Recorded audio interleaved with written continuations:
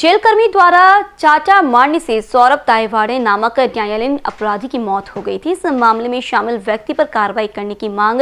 सामाजिक कार्यकर्ता ज्वाला धोटे इन्होंने की है इस मामले में धनतोली पुलिस ने आकस्मिक मौत का मामला दर्ज किया है मगर मृतक के परिवार और ज्वाला धोटे ने आरोप लगाया है आरोपी सौरभ की मौत आकस्मिक नहीं है इसलिए ज्वाला धोटे और मृतक के परिवार ने शुक्रवार को सेंट्रल जेल के अधीक्षक को निवेदन देकर इस मामले की जाँच करने की मांग की है कैमरा पर्सन राजकुमार मोहर के साथ अभिषेक पांडे कांसी बीसीएन न्यूज नागपूर